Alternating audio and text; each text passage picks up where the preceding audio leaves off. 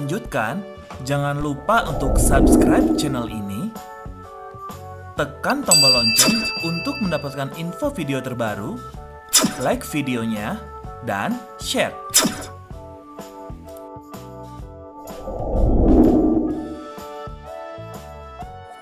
Halo Clovers, di video kali ini aku bakal bikin tutorial cemilan yang enak namanya potato cheese stick. Mau tahu cara bikinnya? Yuk ikutin aja.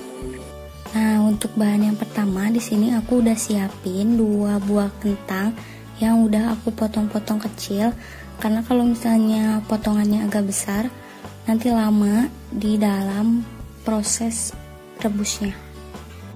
Dan di sini aku udah siapin keju setengah balok yang udah aku parut. Kalau keju terserah kalian ya mau banyak atau sedikit. Dan di sini juga udah ada bawang daun. Karena nggak ada parsley, aku pakainya bawang daun aja. Yang penting sama-sama hijau. Dan yang terakhir ini ada 7 sendok makan tepung maizena. Untuk selanjutnya aku bakalan rebus kentang selama kurang lebih 10 sampai 15 menit. Sekarang kita tunggu kentangnya sampai benar-benar empuk ya. Ini tadi kentang yang udah aku rebus selama 10 menitan ya. Sekarang tinggal kita tumbuk sampai benar-benar kecil halus banget.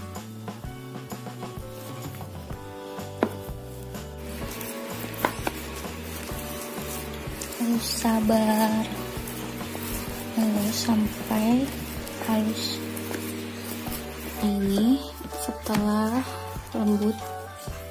Kita sekarang masukin keju ya.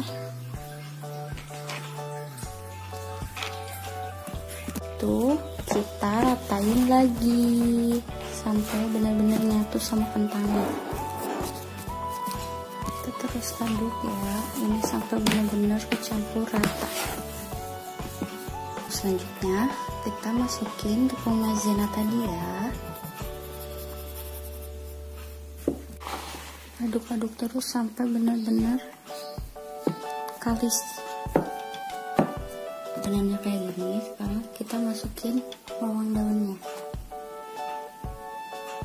Setelah adonan rata seperti ini sekarang kita tinggal siapin satu plastik. Di sini plastiknya berfungsi untuk meratakan atau mencetak. Nah ini yang udah dimasukin ke dalam plastik. Sekarang tinggal di roll ya diratain. Udah tipis kayak gini udah rata. E, kita tinggal potong. Terserah ya potongnya mau panjang atau pendek. Kalau aku di sini bakal potongnya tipis kecil-kecil.